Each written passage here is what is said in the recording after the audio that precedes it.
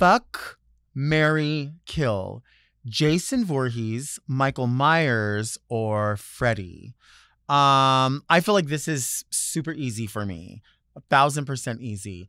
Um, we are going to uh we're gonna fuck Freddy. Cause Freddy to me is super fun. Freddy is not he's not scary at all. Freddy is cunty. Freddy is la- laughs at everything and is laughable. Freddy wants to have a good time, a rollicking raw, like a, just a, a roll in the hay. He's wild. Sex is funny. It can be silly. It can be ridiculous. And I feel like Freddy is that person. It would just, it would have to be that way. And it could be anywhere. And he's, I mean, he's not afraid of the heat. You know what I mean? He's not afraid for that steam heat from that undercarriage. He likes it. And why wouldn't you? And it's ridiculous. It's so funny. He everything he says to people in all of the movies is so like, "Oh, you want to die? Oh well." Like he's just so it's condescending, but it's also sarcastic, sardonic. It's ridiculous. So I think he would be the best fuck ever. Um kill uh, I mean, maybe Jason Voorhees just because he really only comes out in the summer. And I, you know, I he he's at the camp. I'm not I don't like going camping. And I also um I'm just not that intrigued by him. I mean, I'll watch the movies, but it's probably my least favorite of all of the series are the Friday the 13th.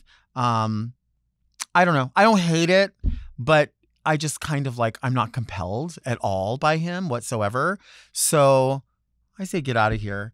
But as far as marry, I mean, I feel like Michael Myers has just he'll return home over and over and over and and no matter how much Laurie punches him, kicks him, kills him literally, he wakes back up and he's like looking for her. He's like, I want to come back to you. I want to be part of this. I want to be loved. I want to give love. I want to receive love. I want to um I want to murder you before you murder me. I want to murder that shit. That's what he wants to do. Isn't that what we all want to do? And he comes alive specifically at Halloween. Halloween is when he makes his return. It's such a romantic time of the year. Valentine's Day is not the most romantic time of year. Halloween is. There's better candy at Halloween and it's it's everywhere, right? It's not just in a little tiny heart like that. It's in 25 pound bags. That's romantic. Um, he comes around at night specifically when everyone gets gussied up in their best fantasy costumes. He's appreciative of all of it. He just lurks, he looks, he watches, he stares lovingly, and he's like, I could kill you, but not yet. I might, but not yet. He wants you to put up a fight. I mean, it's just, you know, it's the age old way, right? Like, don't stay away. I couldn't possibly. And then you turn around and look and wait a few minutes. I'm running. I'm running. I'm no, don't look at me. Oh, I'm running. My Michael, is that you? I love it. I love Michael Myers. You have to marry Michael Myers at all costs. He's the most romantic of all the characters. And he doesn't say anything. Isn't it nice? Somebody who just doesn't really speak too much, doesn't bug, doesn't just just knows it's all about a little less talk and a lot more action. You know what I mean? Like just do, just does the damn thing. Michael Myers will be there for you.